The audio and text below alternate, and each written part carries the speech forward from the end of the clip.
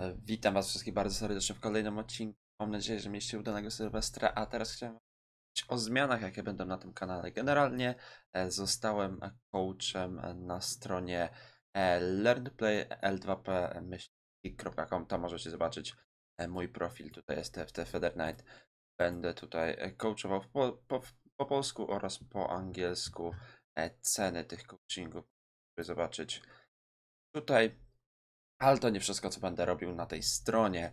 E, Generalnie chodzi o zmiany, jakie będą na tym kanale.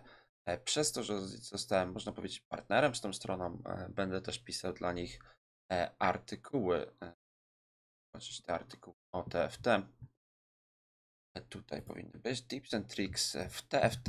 Tutaj są wszystkie te artykuły, które oni wcześniej pisali, ale jeden z ich komentarzy się rozsypał i teraz ja będę przejmował tą rolę. Generalnie będę pisał takie filmiki, jakie robiłem, tylko że e, w formie artykułów, czyli najlepsze kompozycje, najlepsze itemy na daną postać, wszystkie takie rzeczy będą, ale to wszystko jest w języku angielskim.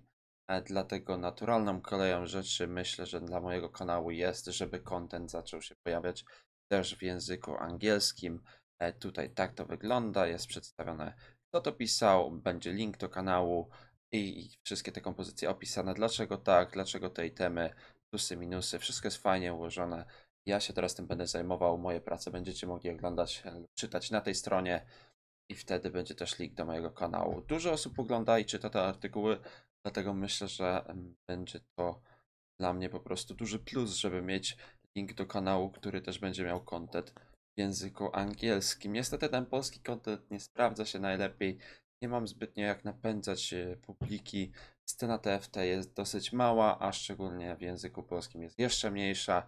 Tak więc myślę, że zmiana na język angielski będzie po prostu dobra dla mojego kanału e, i dla generalnego rozwoju tego kanału. Plus to, że te artykuły też będą jakoś tam się z tym łączyły. Jeżeli ludzie będą chcieli zobaczyć filmik, to mogą na moim kanale. Jeżeli chcą poczytać, to mogą zobaczyć sobie ten artykuł.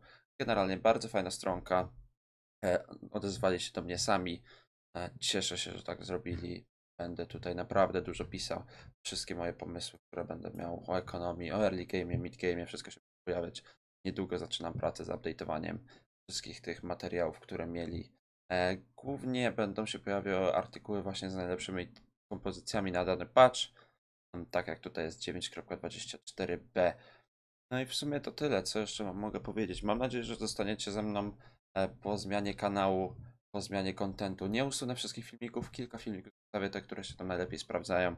Te, co mają powyżej 5000 wyświetleń, zostawię, żeby ten kanał nie był w 100% pusty, ale kontent w języku polskim już się nie będzie pojawiał na kanale. Zobaczymy, jak to wyjdzie. Wrócę do polskiego? Raczej nie.